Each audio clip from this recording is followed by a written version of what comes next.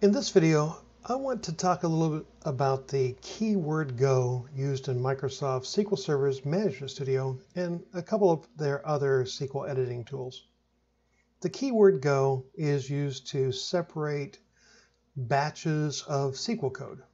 A batch of SQL code is one or more statements that should work as a group. So we see two statements here, declare a variable with a integer value of 10, and then print out the variable. If I highlight those two statements, they perform the action of printing out the variable's value of 10. These two statements are part of the same batch when I highlight and run them. If I actually run the entire script, they are also part of the same batch. If I don't highlight anything in the script, it, it runs everything. Of course, I could highlight all the lines. It does the same thing. Now, if I put the word go in between, what I have done is I've actually created two batches because the keyword go is a batch separator. Each batch has a single command. Okay, now the top batch, the first batch, has two commands, or should I say two SQL statements. But on line four is another statement. And you'll see that I get an error message when I try to run this. Although the first two statements run, the second, or the third statement, I should say, on line four, that's a SQL statement. Go is not a, a SQL statement. That does not run because variables are only good are available for the life of the batch. As soon as the batch ends, that variable is no longer available. Take out the word go, and it works just fine. Go is used to separate batches of SQL code.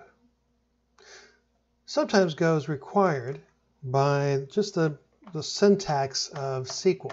For example, when you create views or stored procedures or functions or triggers, Microsoft demands that you create the um, those objects in its own separate batch.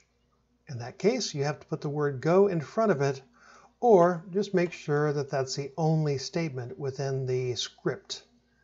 The script is a SQL file, and in this case, I have only one command in it.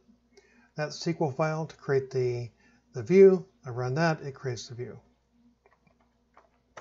If, on the other hand, I have other statements in that script and I forget the word go, I will get an error message saying that the create view must be the first statement in the query batch, demanding that I make two batches of SQL code, one to do the first part and one to do the next. And of course, if I had other views,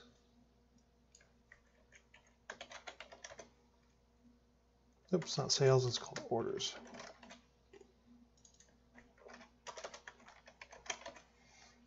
I could put a bunch of them in one single script as long as I use the word go to separate each of the batches. So that's how go is used. Sometimes you'll see people interject go all over the place in their script. And often not even it's not even necessary. One thing I have noticed is that it's a good idea if you tell the system to like use a particular database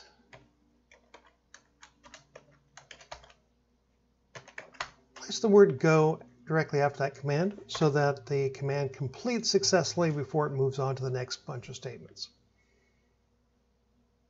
One other kind of bizarre use of Go, we'll use it very often, but occasionally you can, is you can tell it to perform an action multiple times. Like in this case, I'm telling it to perform these statements I have highlighted, 4, 5, and 6, lines 4, 5, and 6, five times.